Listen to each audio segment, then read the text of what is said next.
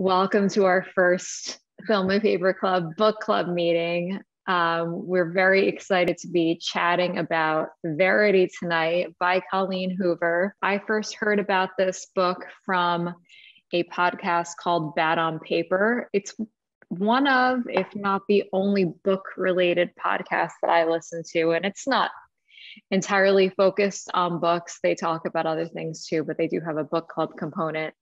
Um, and they would just always be raving about it. So I checked it out. This is the first Colleen Hoover book I ever read.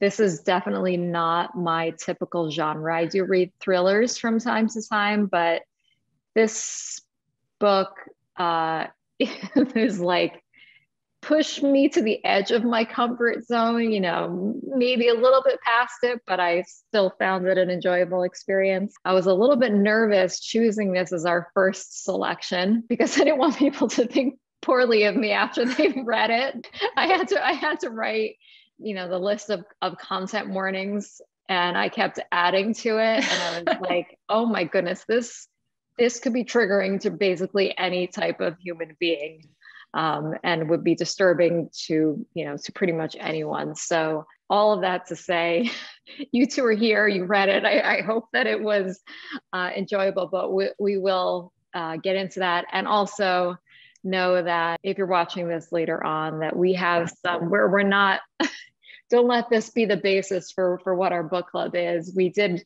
very much focused on thrillers and suspense this month, but we're moving into gentler territory starting in, in November, which is much more our speed. I think I can speak on behalf of, of all three of us when I say that.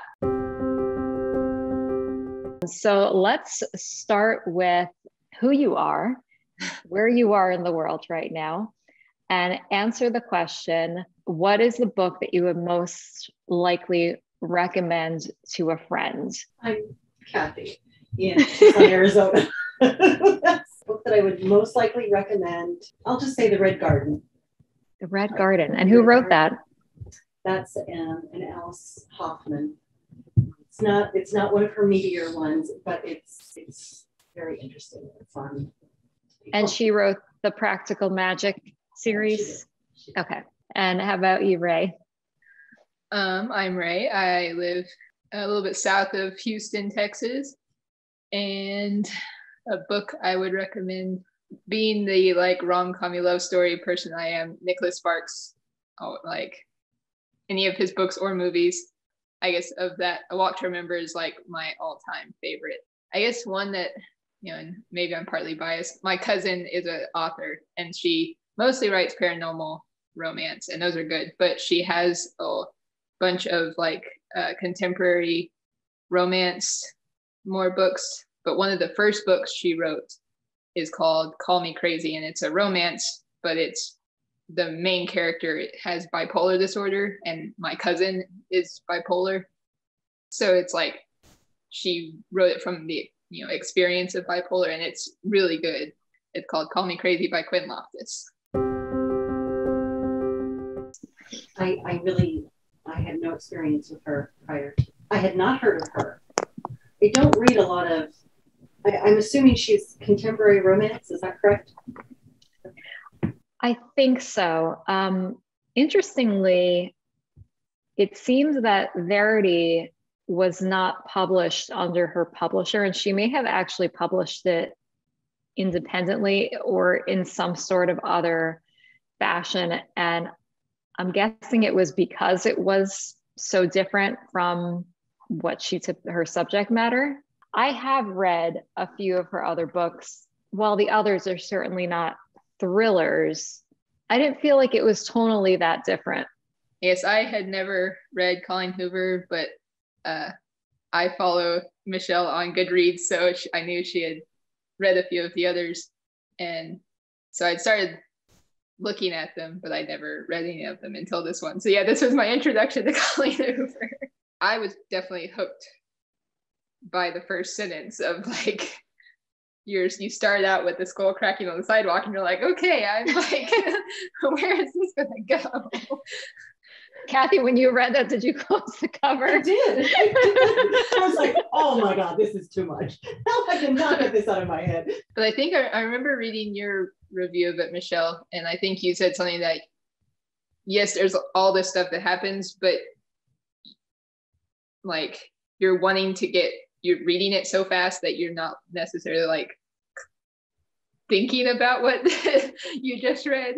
Um, and it almost gets to the point like maybe this sounds bad but you're like so many bad things happen. You're like you almost get like okay what crazy thing is she to do next?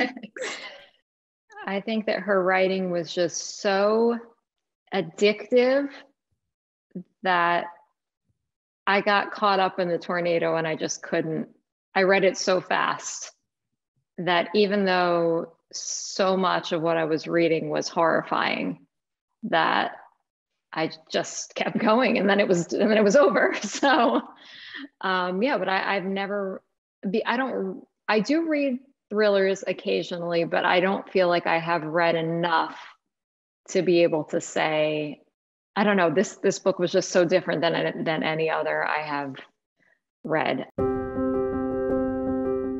What was your initial impression of Jeremy in that like the first scene on the street and in the bathroom?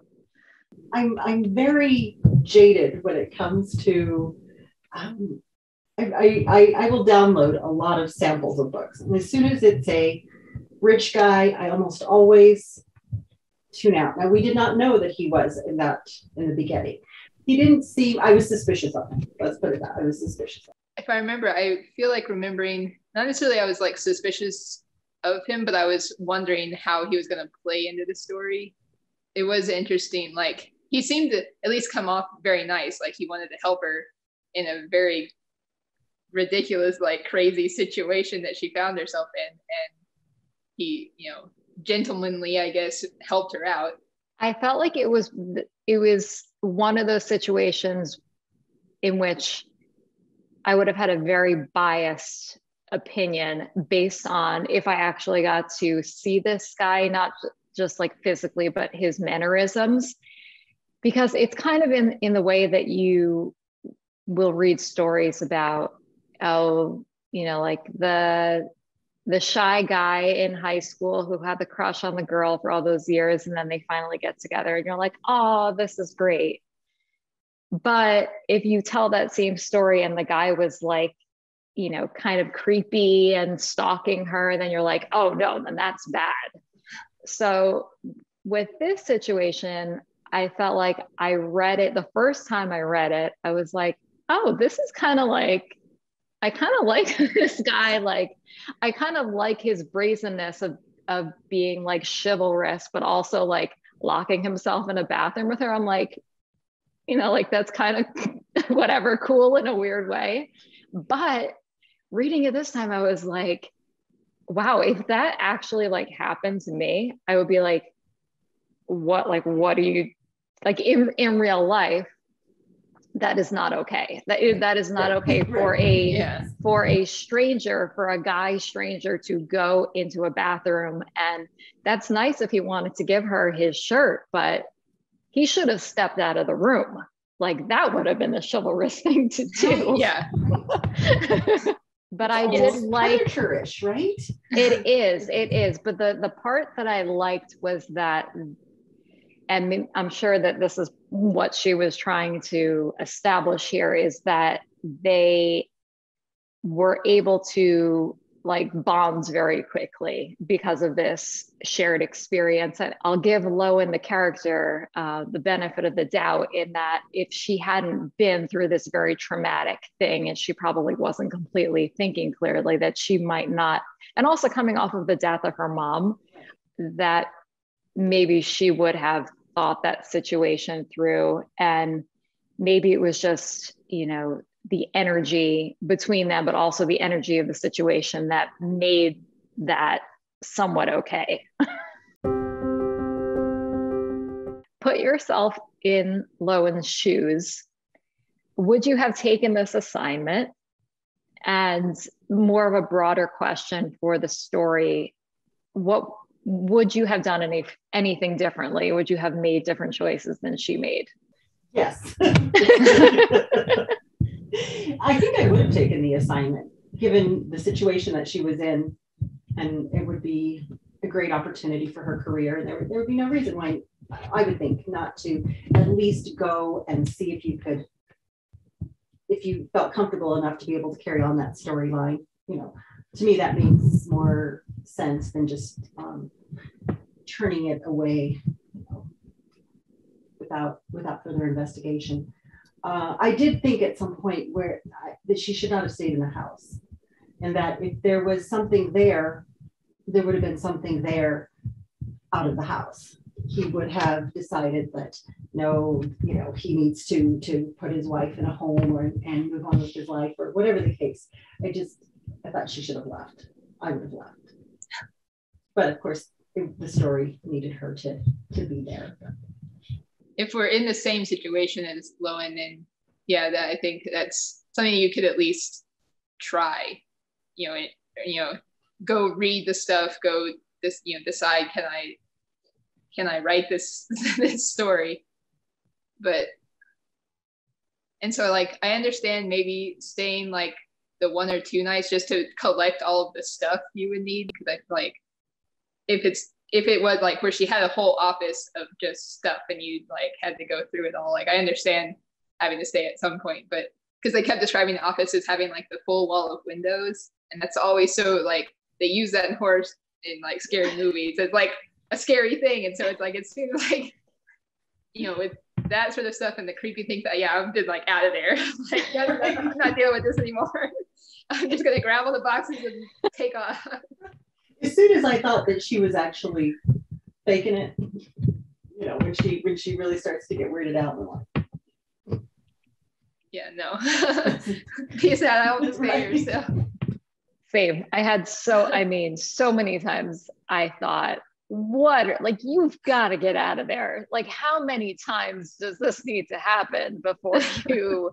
I agree. I would have taken the assignment, but I would have figured something else out, even if it meant staying at the creepy ex boyfriend's place temporarily. I mean, that had to have been better than that situation. yeah. Especially uh, because, again, this is like such a creepy story, you know, thing, but they're they're in the middle of nowhere. Right. They're secluded and she's not familiar with the area and yeah there's there's no way. I probably would not have even wanted to go there to get the materials. I would have said if you're willing to make negotiations like i don't remember exactly what the figures were but you know double the cost of the offer and uh, take away some of the her responsibilities in terms of you know speaking engagements then add this one to the list. Ship me the materials. Just pack up the whole office.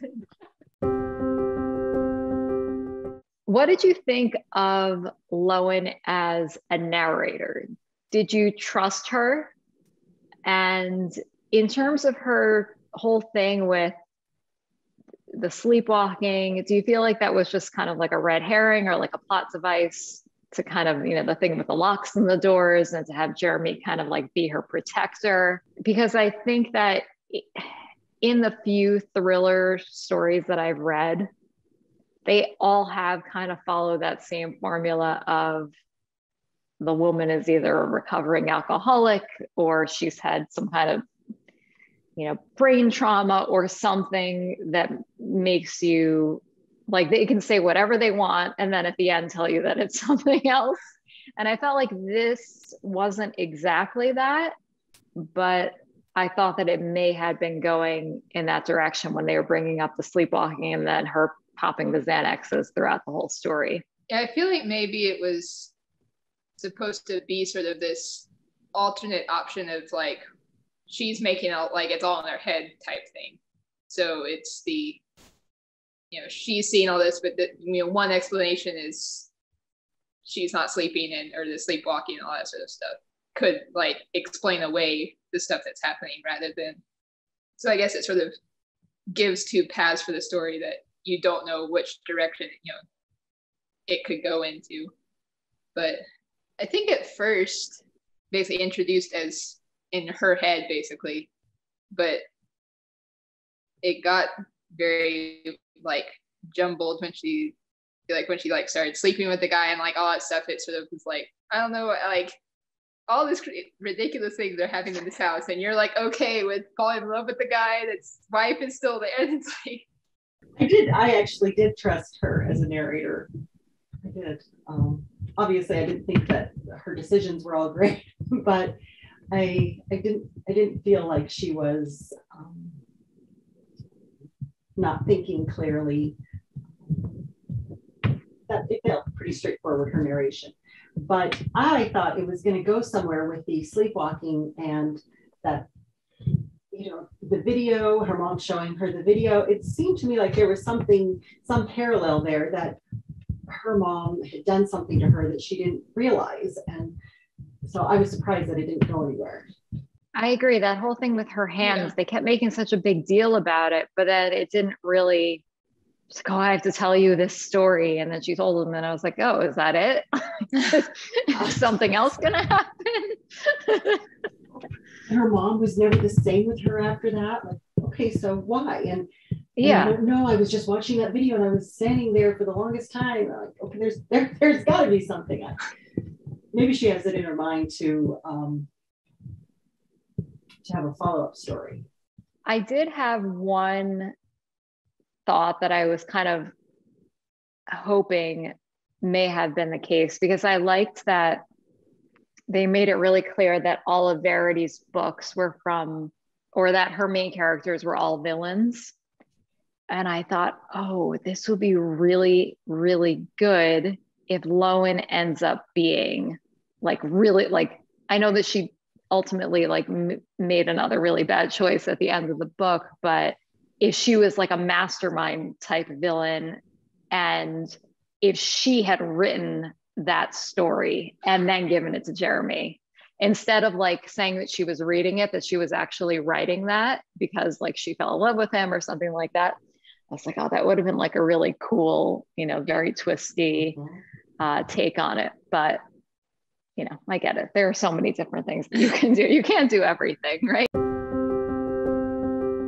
all right. What do you think was the scariest moment in the book? But at the end there where um, she she maybe she looks at the camera and she's moved or something. Go. Yes. Get Skin crawling. she made it clear that it's like I know you're watching me and I know you're watching or you know we're watching each other now and or I know you're watching me sort of thing. Uh, and making it clear that yes, I know you know that I am like faking this whole thing. But I guess it gets into the did she or did she, like was the whole book that Verity wrote was it true or not? But because one of I guess the situation that she did dive into the most detail was the boating part. So like you know all of that like the thought of treating your kids that way. Like I don't have kids, but I just can't even imagine like even be able to write that about your own kids. But I think that one was probably the scariest just because that you got the most detail in that situation. Or the because I think was there one where the son got like cut with a knife and like she saw the knife and then it was gone. And so yeah. any of that where it's like stuff disappeared and and which is when I'd be like, nope, I'm, I'm done. but the unknown, I guess, was probably really was just creepy to me. It's maybe not as scary, but I think it was because it was the first instance of it. It's the one that I remembered most was just when she was working and writing and she was Verity was out on the deck and she saw that like she basically was like, you know, staring at her. I mean, again, leave. that was so well written because just as you're describing it, I, I mean, I was thinking that too. It was so simple where she just feels like I could I could completely imagine it. And you're, is she staring at me? Oh my God, she's staring at me. then you yes, it, it was spine tingling. And yes. so there is to to be able to write that and convey it in that way was that was that takes great talent right there. And it was what so, is it with like scary movies and books that have to have the glass like the glass house. Like that's like the thing in every glass house in the middle of nowhere. vulner it's vulnerability. It's Yeah. it's people can see in and you can see them looking at you and yeah, I really I mean I always imagine books being movies, but those scenes in particular, I was thinking that those would translate so well to film and would just I I almost wonder if I, I think in, in some ways it's you know that spine tingling to read it but i think that they would make it so much more terrifying with the music and the Yeah. the lighting and the you know camera movements when i read it the first time at least this was my memory of what i remembered was that i believed the the letter that Lowen found in um, in the floorboards. So I took that as gospel. And when I was done, I thought, oh my goodness, so Jeremy's really like a really like a bad guy and he's a murderer. And I can't believe, you know, that's the case. But this time, maybe it's because I went in wanting this to be the case. I wanted to interpret it as it was just one more piece of Verity's masterminding, and that she wrote that to kind of, you know, try to cover her tracks. The only thing I'm sure of is that I think Colleen Hoover wants it to be open to interpretation. I can't believe that I must have just glossed over that line that she, I don't remember what the line was, but to me, the line said, you know, we don't know whether or not this is tr- true or not. Initially, after I read the letter, I was like, "Oh crap!" Like, you know, is this true? And then by the end, I I don't know. I because like I don't want to think of them as murderers because the only thing that like other than I guess the knife incident, and we don't really exactly know what happened. Like she doesn't seem like her son is comfortable sitting in there with her, and I feel like if she was really evil, he wouldn't be comfortable sitting in there with her. So that was the only thing that was like I couldn't decide about. I have so many questions about that. Just so many questions. Her first book was written from the villain's perspective as well. So she she she bases that whole letter on the fact that Jeremy wasn't listening to this conversation that she had with her her publisher. That just it seemed weak to me. It it just like that and to be able to write that whole thing about why, why would you choose that why would you choose your your your children to practice this on that that seemed weird even if you were going to use children you why wouldn't you use somebody else it, it just it seemed like that would be really difficult to do for anybody that wasn't disturbed and and then looking for the manuscript and he had taken it off. Of course, why would she be looking for a paper manuscript? He would just have sent that to himself. Why wouldn't he have, you know, why would she assume that he had destroyed an electronic copy? That didn't make sense to me. Yeah, now that you're you're saying it, Kathy, I feel like you're making a really good case because there was like one too many explanations that she needed to give. And the weakest one to me is uh, I had to pretend to be in a coma. That was the only way. I mean, you're in a hospital for a long time. You can't like tell a doctor or a nurse, like, listen, I'm really, I'm in trouble here. I need to talk to the police or someone, an authority figure. I mean, there's an easy solution. And to me, Yeah. anyone who like would choose to fake being incapacitated for that long is not making good choices. Right. There's there's something wrong there. And then And the almost- whole letter was long. That letter was very long. It just seemed, it, it, it almost seemed, it just it seemed disingenuous. It seemed clinical, almost like I'm just reciting some facts for you. And I was really irritated with the whole looking for the letter. You know, like I, you know, I wanted to find the the hard copy of it. I just still the whole thing was unsettling. And that they're going on with their life and she's pregnant and just it felt not like not a happy ending. No, yeah, like they tried, but yeah, their their Lowen and Jeremy's relationship was like, I don't, I, I, I- I'm trying to remember if I liked it more. Like, I think that there's always a part of me that wants, like, is craving some sort of love story. So, like, I'll take what I can get. But it's also just like so icky and not like Kathy unsettling is a perfect word to describe their situation going forward. We have to move out of this house because we killed your wife. oh yeah, let's sell it. let's, let's get out of here. sort of like they they ended on this happily ever after, except. I, I they, a lot of people hated the ending. That was like a common thread in the reviews. Horrible ending. I thought I didn't I didn't think so. I mean it was it was fitting for Yes.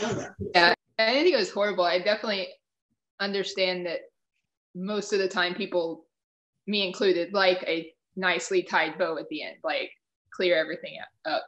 Um, but I think it's interesting to not do that sometimes, um, and to leave it open to interpretation. So the I had to go look and see exactly what it was. The last line of the book is the only question that remains is colon which truth was she manipulating? I mean, Colleen Hoover wants people to have book club conversations about this, clearly. She gave you the opening Yes. question. Did. So in the in the vein of us being a book and movie club i'd like to do a segment called the casting couch which is who would you cast to play these characters or who are you imagining Who played Go. Gone Girl? Um, the the, the oh yeah. Yes, you could kind of see her giving that. look. Yeah. Uh-huh. i rosamund pike so i Yeah. had the same thought this time reading it because that would because I because we had just watched Gone Girl and I was like, oh yeah, she would be really good at this, or someone like her, like you know, someone that is maybe like blondes and around like her age. I was also thinking maybe like Charlize Theron or or even I, I don't think she's ever played a role like this. And this is also probably in my head because we just saw her in uh, Talented Mr. Ripley, but I think that Gwyneth Paltrow could very well play this like uh, famous, accomplished writer if it, if Yeah. the movie had like flashbacks to her. Yes. I see her playing Lowen too. She's, she, she does play the very innocent, all into it type of role. So this is kind of another question I had along these same lines is I kind of saw Lowen being younger than than Jeremy and Verity. And I think that she said she even said like she's that she's 32. I, I don't think they ever say how old Verity and Jeremy are. I can't remember, but I was thinking of um, maybe someone like Jennifer Lawrence playing Lowen. I thought that Jennifer Lawrence could play that like in parts, you know, feeling very vulnerable, but also a bad guy in the end, somewhat, Yes. Uh-huh. You could see that. and being hysterical, you know, at those points. Yeah. I'm I could totally see that.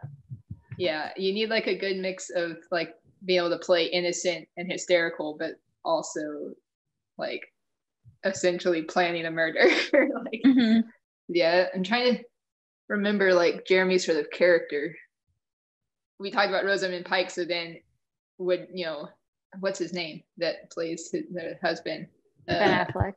yeah ben affleck so like because it's very s- sort of similar characters I do think that Ben Affleck would be a good choice. I had a really specific random person come to mind the first time I read it. And then this time again, I'm like, yeah, it still fits. And I think it has much more to do with his energy than his looks per se. But I was thinking of Edward Norton for some reason. He may be like a little older than Jeremy is supposed to be, but I think he has this very like commanding energy. And I kept getting that from Jeremy that he would oh. just like, you know, walk into rooms and be like, this is what's happening. And Lowen would just be like, sure. Sounds great. um, and also, I think that Edward Norton has this like a little bit of, I, I've seen him play good guys, I've seen him play bad guys. So I think that also really fits with being this nuanced type of character. Yeah, I feel like Edward Norton does sort of have this like mystery to him. Mm-hmm. Michelle, it is late for you. It is. It's almost 11, but this oh, this yeah. energized me for sure. So thank you guys so much. And we'll be seeing each other again very soon. Yay.